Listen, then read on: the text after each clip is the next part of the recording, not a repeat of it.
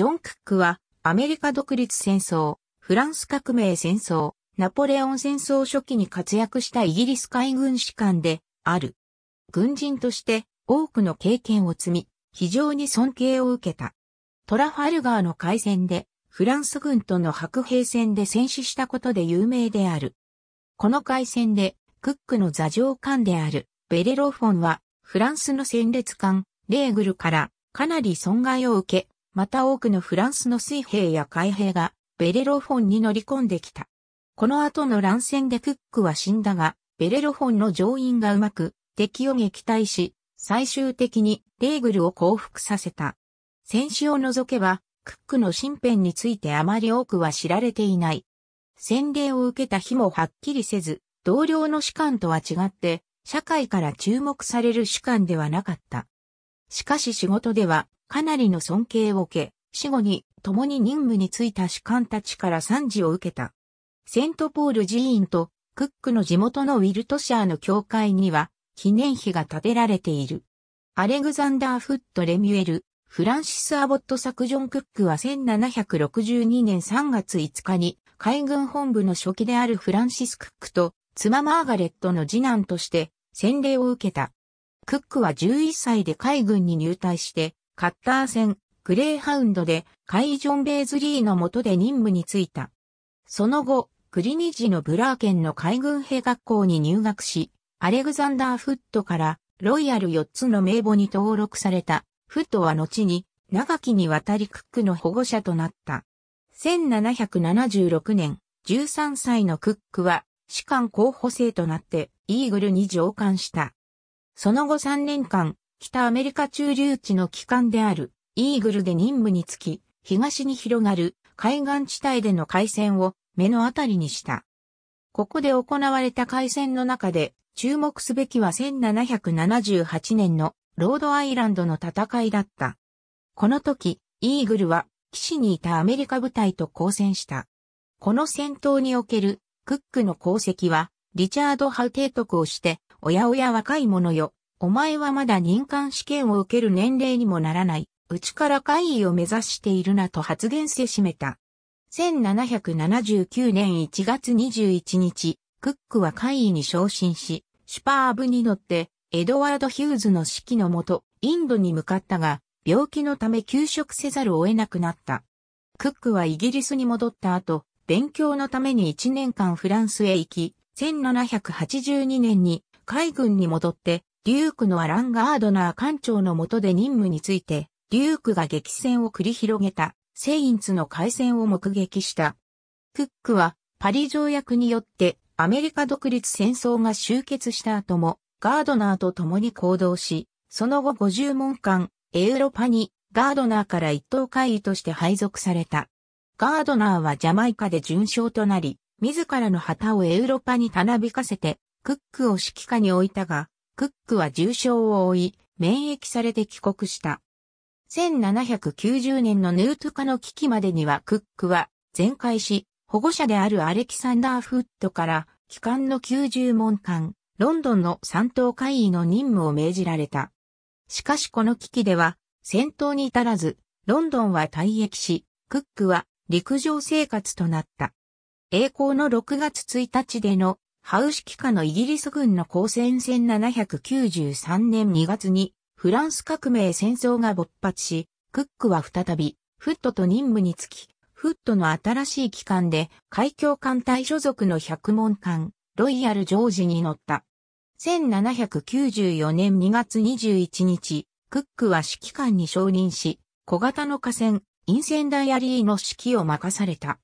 3ヶ月の後、インセンダイアリーは大西洋作戦で海峡艦隊へリチャード・ハウの信号を艦隊に取り継ぐ役目を負い、また、ビアレド・ジョワユーズ指揮下のフランス艦隊の偵察を務めた。1794年6月1日、クックは栄光の6月1日に立ち会ったが、彼の艦は交戦するには小さすぎた。この海戦の後、艦隊への一斉昇進にクックも加えられ、7月23日にポストキャプテンとなった。その後1年間、ジェームズ・ウォーレスの機関艦長として、74門艦のモナークでニューファンドランド島沖に駐屯した。そして、イギリスに戻ったクックは、28門艦、トゥルテレルの指揮官となった。クックはこの任務を引き受けたが、この艦が西インド諸島へ行かされることを知って辞任した。ガードナーから今後の西インド諸島での任務は戦死の可能性があるだろうと聞かされたからである。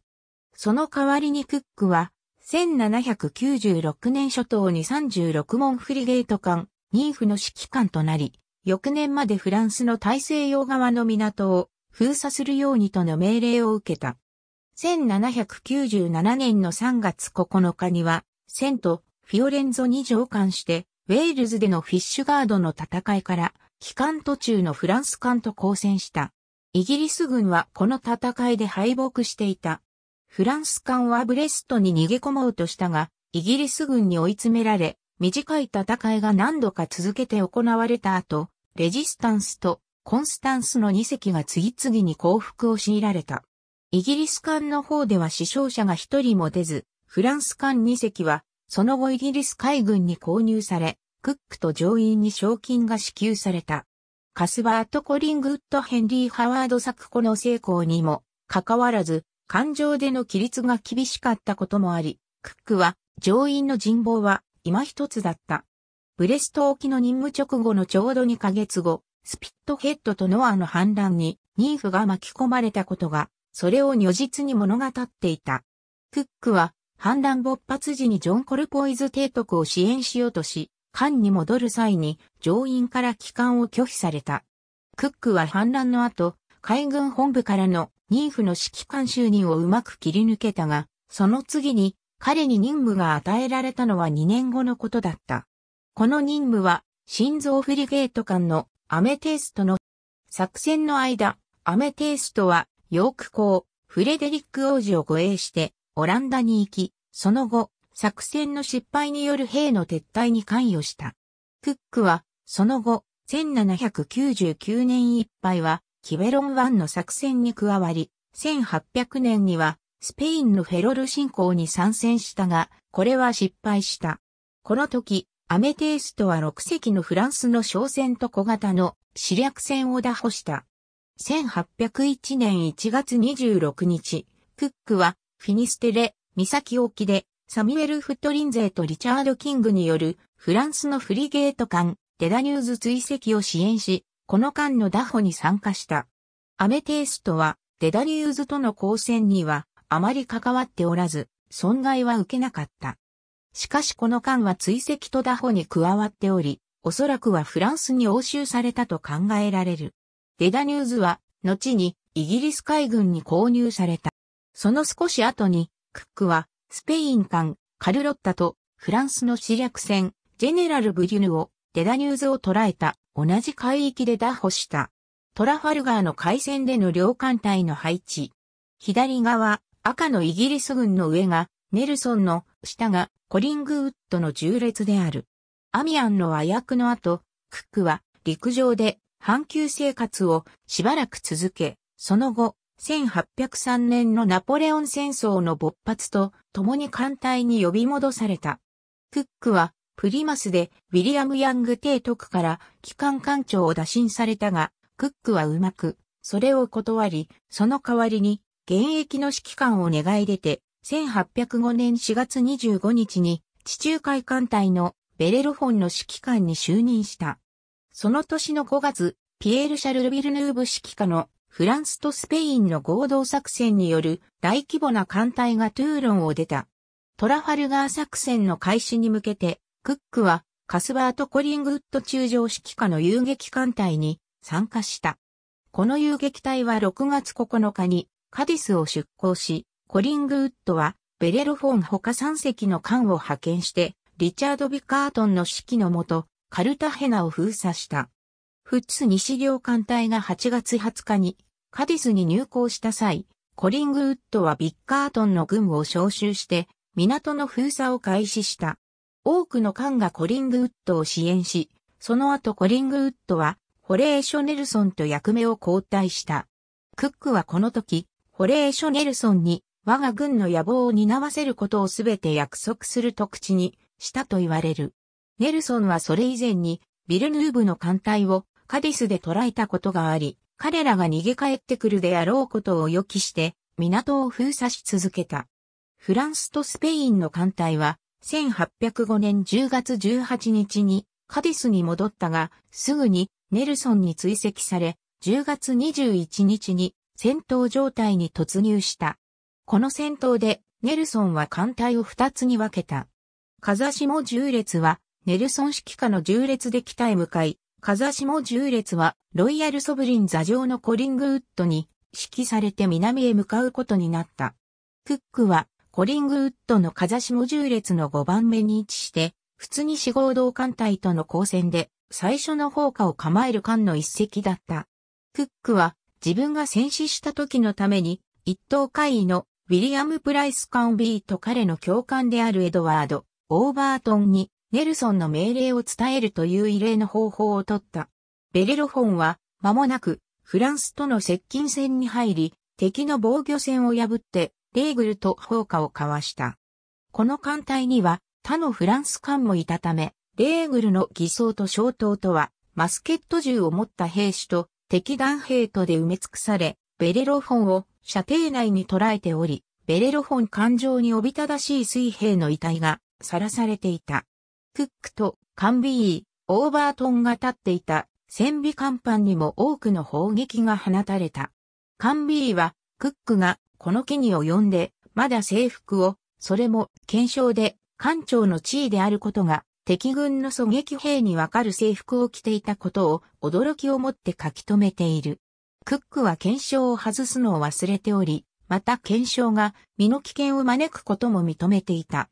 しかし彼は答えた、時すでに遅しだ。私はこの現状をわきまえている。しかし死ぬ時は潔く死ぬつもりだ交戦する。ベレロフォンとフランス艦、トマス・ホイットコンブ作戦闘が進むにつれ、レーグルのピエール・パウル・グレージュ艦長は、乗員にベレロフォンに乗り込んで、この艦を強奪するように命令した。グレージュには数に勝る自軍の兵がイギリス軍の乗員を圧倒するという期待もあった。クックは艦尾を下げ甲板にやって、そこの大砲がフランス艦を砲撃し続けているかを確かめさせた。戦闘は上甲板の方で続いていたからだ。そしてクック自身はベレロフォンの戦備甲板に砲弾を浴びせているフランス軍に突進し、敵の士官を射殺してその後ろにいた兵たちとの白兵戦に持ち込んだ。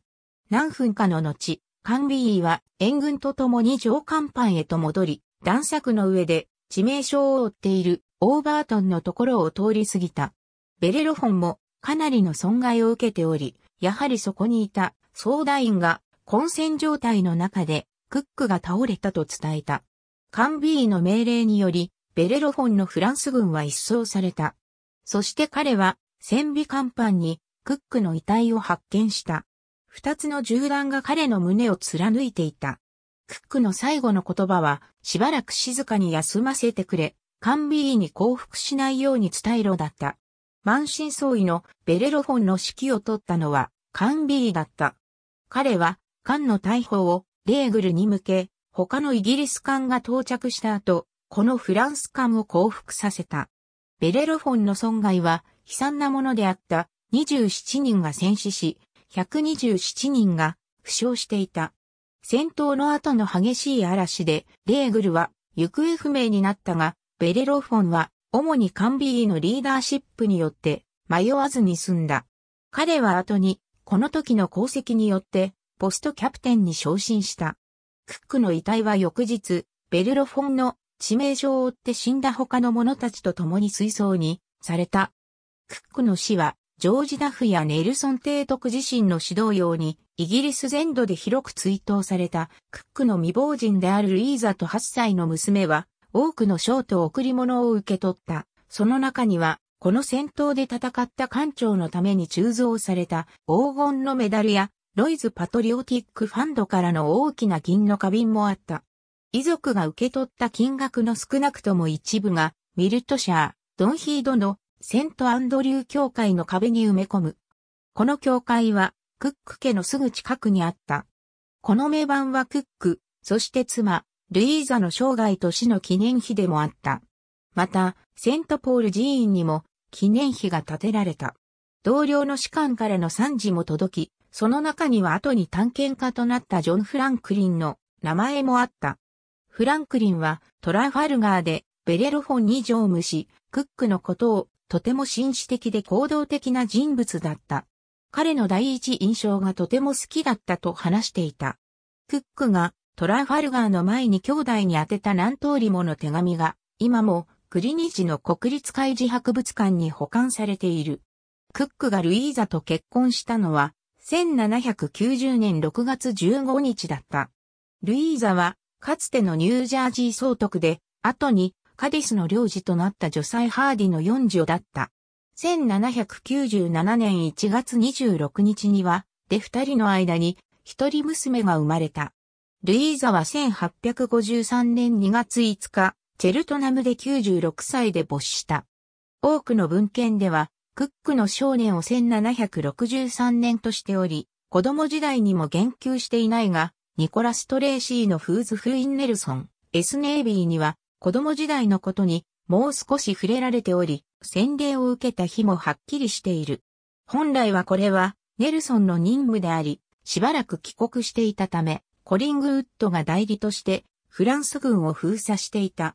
この時、ネルソンは白色中将でコリングウッドは青色中将であったため、それぞれの重列が白と青の演インを使い分けるべきであったが、敵味方相乱れての戦闘を考えていたネルソンは、わざとすべてに白の演インを上げさせて、悲願の区別を容易にしたと言われる。ありがとうございます。